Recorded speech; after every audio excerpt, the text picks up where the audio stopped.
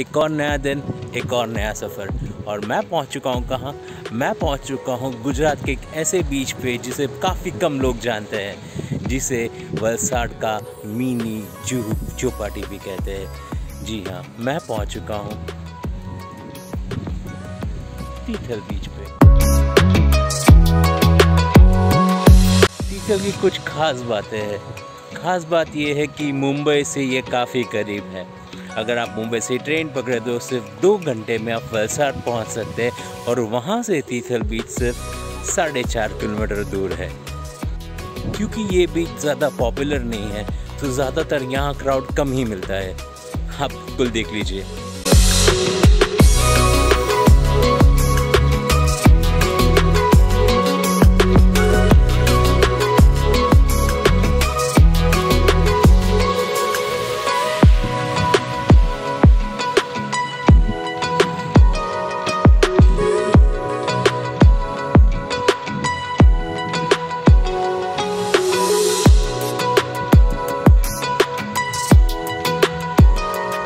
यहाँ पे स्वामीनारायण संप्रदाय का एक बहुत बड़ा टेंपल है। इसके अलावा आपको साई बाबा का भी एक टेंपल यहाँ पे मिल जाएगा। और सबसे ब्यूटीफुल पार्ट है, जहाँ पे मैं फ़िलहाल चल रहा हूँ। जी हाँ ब्यूटीफुल वॉकवे आपको बीच के किनारे किनारे इतना ब्यूटीफुल सनसेट का मज़ा लेके आप चल सकते हैं। और सही मायने में बीच का इतनी आवाज़, ठंडी हवा के बीच में आपको ये एहसास ही नहीं होगा कि आप करीबन तीन, साढ़े तीन किलोमीटर चल चुके हैं। सवाल आता है तीथल पहुँचे कैसे? तीथल स्थित है वलसाड़ में, जो आता है गुजरात में। जी हाँ वलसाड़ मुंबई से करीबन तीन घंटे की ड्राइव या फिर दो घंटे बाई ट्रेन आप इजीली यहाँ से पहुँच सकते हैं। ट्रेन से उतरने के बाद बाहर रिक्शा स्टैंड से आप किसी को भी तीथल पूछ लीजिए। काफ़ी फ़ेमस स्पॉट है वलसाड़ के लोगों के लिए। आपको इजीली यहाँ पे पहुँचा देंगे।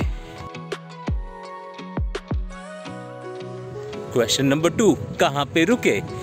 तो तीथल में बहुत सारे ऑप्शन है स्टे के बजट फ्रेंडली से लेकर लग्जरी तक। पे सॉल्टी बीच रिजॉर्ट आप चूज़ कर सकते हैं, जहाँ पे फैमिली रूम्स आपके लिए काफ़ी अफोर्डेबल प्राइस पे आप बुक कर सकते हो। अगोडा मेक माई ट्रिप और बुकिंग डॉट कॉम ये तीनों भी पोर्टल पे ये होटल अवेलेबल है।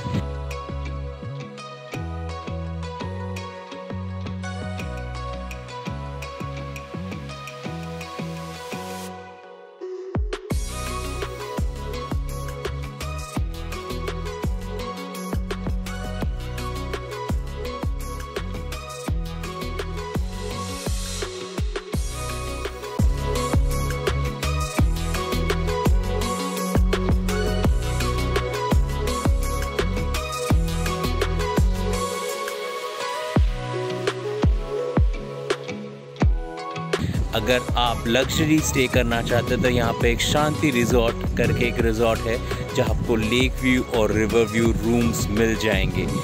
ये बहुत ही ब्यूटीफुल रिजॉर्ट है। मैं कुछ पिक्चर्स आपको दिखाना चाहूँगा इस रिजॉर्ट के।